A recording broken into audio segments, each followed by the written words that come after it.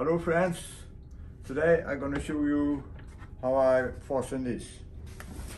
And I do this with a spacer because I don't like to compress the div cell.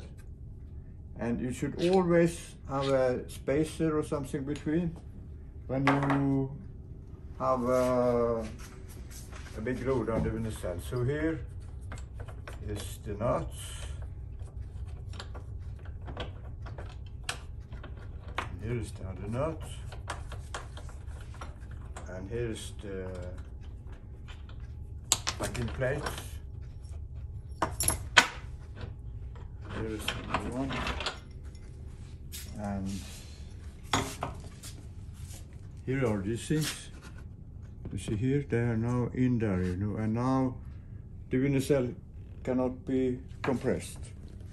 And the nuts when I screw on them they come in epoxy.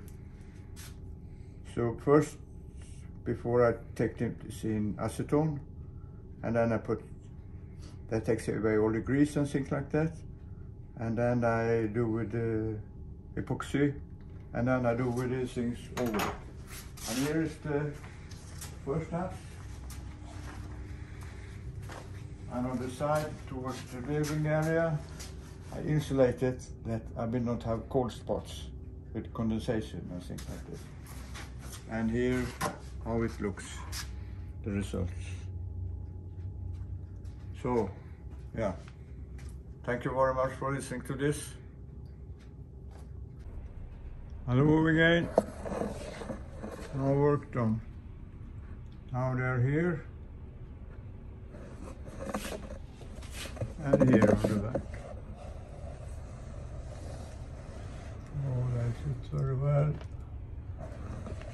In the epoxy. I'm not going to move again. Here on the other side. Here on the inside.